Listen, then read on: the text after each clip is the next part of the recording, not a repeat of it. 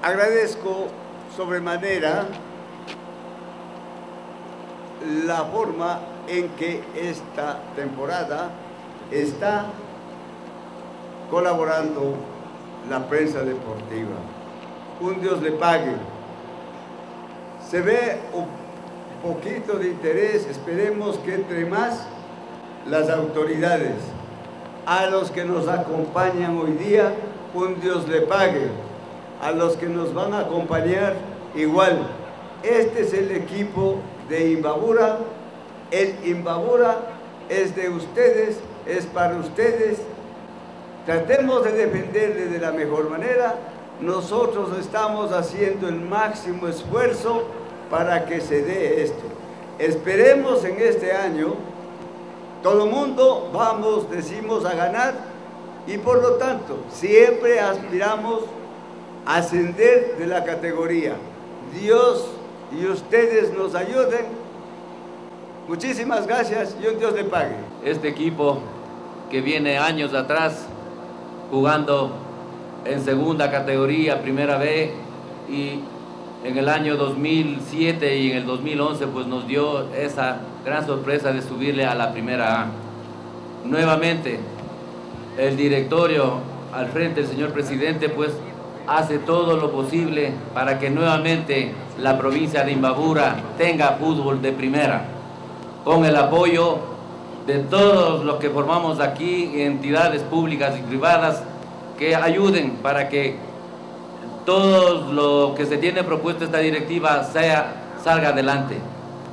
Esperar que desde el primer partido que lo tenemos en 15 días, la afición responda nosotros por parte de jugadores, autoridades y directiva, haciendo para que las cosas nos salgan de la mejor forma. Bienvenidos todos y el agradecimiento a todos ustedes. Un mensaje de cariño para tu equipo y el mío. El Imbabura Sporting Club. Capitán Andrés Ayala Congo.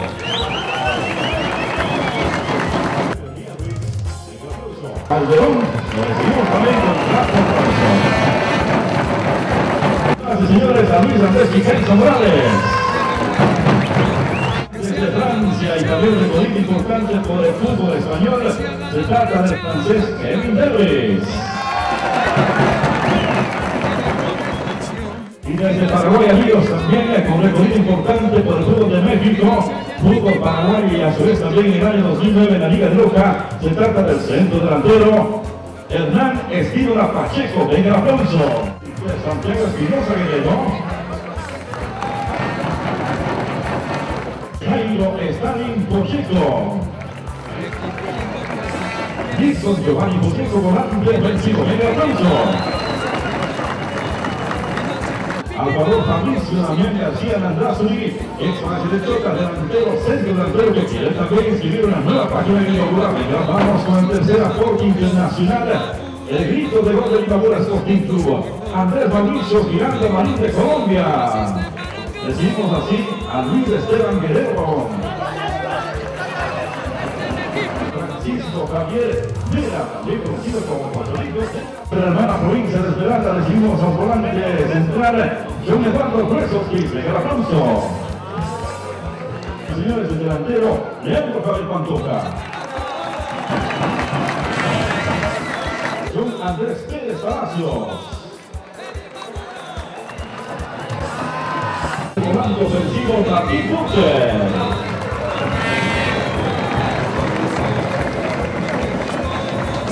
Edison Ernesto Ricardo Báez. El señor Alex Andrés Rodríguez, señor Alfonso. En la defensa central de Mojura, sin duda, estará también de Alexis Mauricio Santa Cruz Delgado. Alexis Bastones. En ofensiva, Adrián Paolo Villa de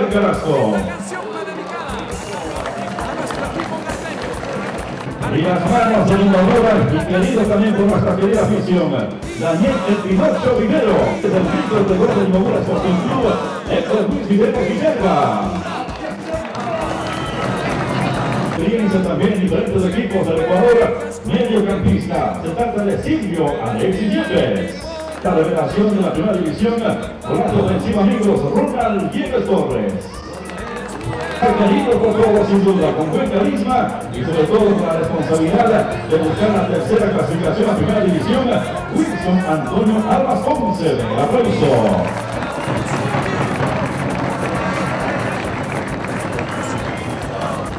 A continuación, recibimos al asistente técnico, Salomón Adalberto Sura,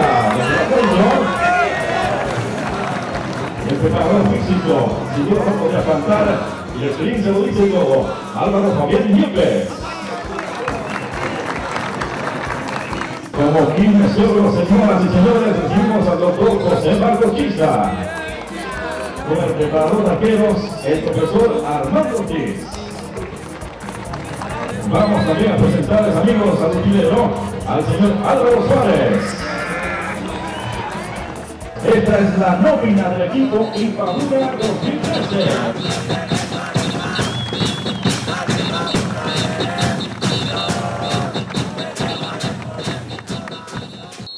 El Imbabura Sporting Club realizó la presentación oficial de su nómina el día sábado en la tarde en el Estadio Olímpico Ciudad Ibarra con un partido amistoso frente al técnico universitario. Las primeras acciones, el conjunto del Imagura Sporting Club quiso aprovechar a través de este tiro libre, pero el jugador Héctor Viveros no lo aprovecha de buena forma esta gran ocasión de anotar.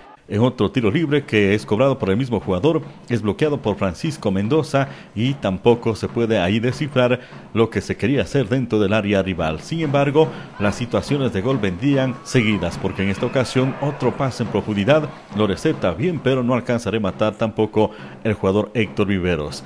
De a poco se fue a la carga el equipo del técnico universitario de la mano de Blaine Tobar, Luis Díaz y a su vez Víctor Valle. Y desde luego también la presencia de Juan Carlos Villacres causó peligro en la portería defendida por Daniel Viveros.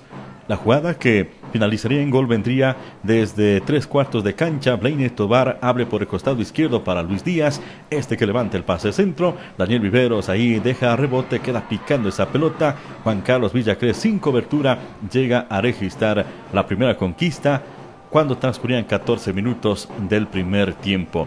Una vez más aquí en la acción, miramos como Luis Díaz levanta el pase centro, luego vendría allí también el rebote de Daniel Viveros, no hay quien le auxilie y se decreta el 1 por 0. Así lo festejaba Juan Carlos Villacres conjuntamente con Blainer Tobar y a su vez Luis Díaz, quienes en definitiva se juntaron para sacar esta importante jugada que a la poste finalizaría en la primera conquista de compromiso a favor del equipo ambateño. Sin embargo, minutos más tarde vendría esta acción se estrella la pelota el remate de Francisco Mira en el vertical izquierdo y la pelota prácticamente un tanto caprichosa no quiso entrar. Habrían una nueva ocasión de anotar tras esta jugada que vendría desde la derecha hacia la izquierda.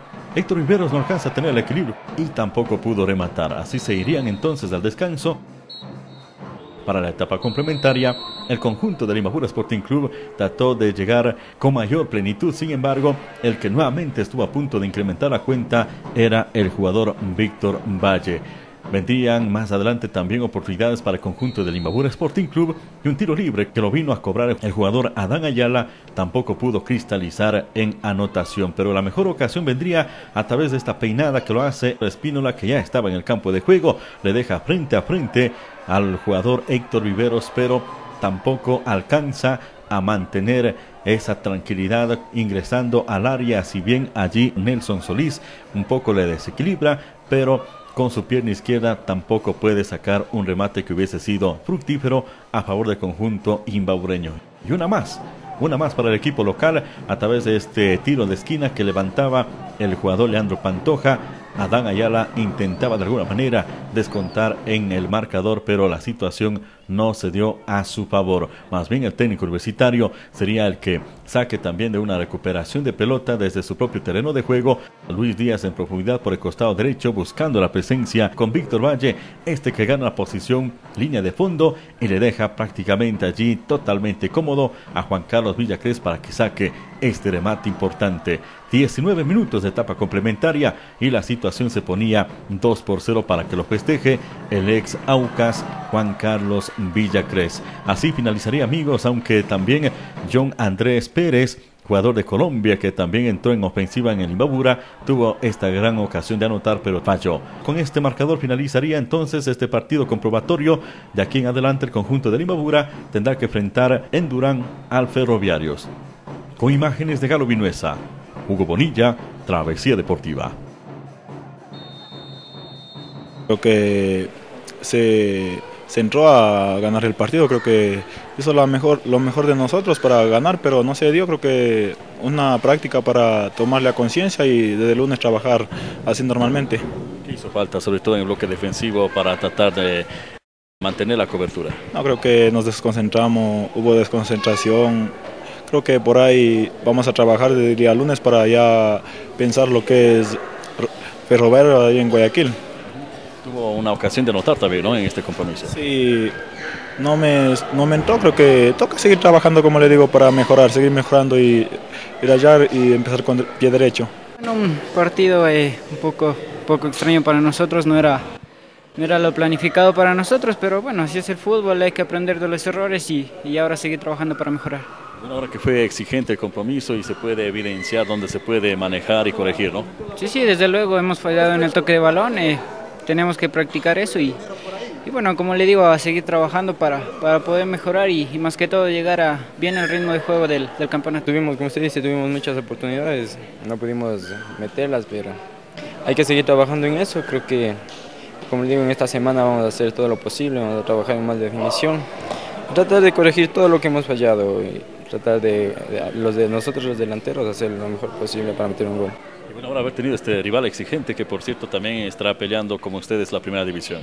Sí, claro, se lo digo, este es un partido muy importante para nosotros, nos va a ayudar a mucho, a demasiado nos ha ayudado esto y creo que eh, ahorita vimos todas las fallas que hemos tenido eh, con los anteriores equipos que hemos jugado partidos amistosos, no han sido muy fuertes, creo que hoy sí ya nos medimos con un rival que verdaderamente sí es de la categoría y vamos a hacer todo lo, lo, posible para mejorar. Creo que lo más importante fue acoplarnos entre nosotros mismos, eh, por ahí ser, ser mucho más, más solidarios con, con cada uno de nuestros, de nuestros compañeros. Eh, lamentable, lamentablemente por ahí el, el desorden eh, nos jugó muy, muy mal a todos. como le digo, tratar de, de, reconfortar todo eso y, y llegar, a, llegar, a, llegar a, un, a un buen acuerdo en, el fin de semana. El rival bastante bien, ¿no? La situación de ser exigente, esto nos permite ajustar y elevar el nivel futbolístico también. Sí, creo que eso nos, nos, viene, nos viene bien, nos vino bien. Eh, creo que es un sacudón muy importante para todos, eh, jugar con, con, un equipo de nuestro mismo nivel, entonces, eh, como le digo, sacar nuestras cosas positivas y fortalecer en, en, lo que fallamos, en lo que más nos, nos hace falta, entonces eh, nada más que, que, que empezar una, una, nueva semana, la última semana para empezar un, un buen, una buena temporada. Me sentí un poco cansado, pero bueno, eh, de a poco vamos, vamos a ir eh, mejorando, ojalá que se, dentro de poco ya me pueda llegar al 100%. Su estilo, quizá el juego de toque de primera, eso ayuda también para eliminar marcas, ¿no?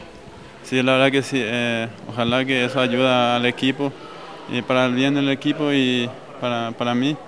Ojalá que eh, este, esta derrota nos sirva para seguir eh, en frente en alto y ojalá que para la próxima podemos ganar. Indudablemente no tenemos que ganarle a nuestra afición. Yo creo que ganas, corazón no les ha hecho falta a nuestros jugadores, ¿no? Lo que les, da, lo que les ha hecho falta es un poco más de personalidad, eh, saber manejar mejor los tiempos. Con la bola fuimos muy nerviosos, con la bola no nos tuvimos confianza y por eso cedimos en muchos, en, en muchos momentos la iniciativa al rival. Yo creo que si tenemos mayor seguridad en el toque de balón, yo creo que mejoraremos muchísimo ya en el campeonato. ¿La aplicación de esta semana?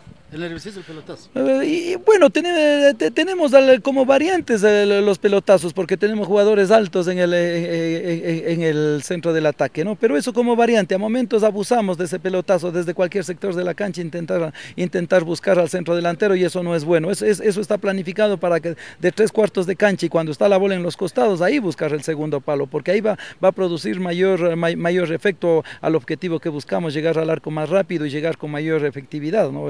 Pero eso lo, lo iremos consiguiendo poco a poco. La planificación de esta semana, por favor. Bueno, el lunes reiniciamos los trabajos, martes tendremos do, do, doble jornada, miércoles eh, tendremos una sola jornada, jueves, eh, luego del entrenamiento en la mañana, pues aspiramos ya en la noche del jueves estar viajando a la ciudad de Guayaquil, eh, llegar en las primeras horas de la mañana, descanso total en el hotel al que lleguemos y en la tarde estaremos realizando el entrenamiento para estar en las mejores condiciones del día sábado, que será el día del partido.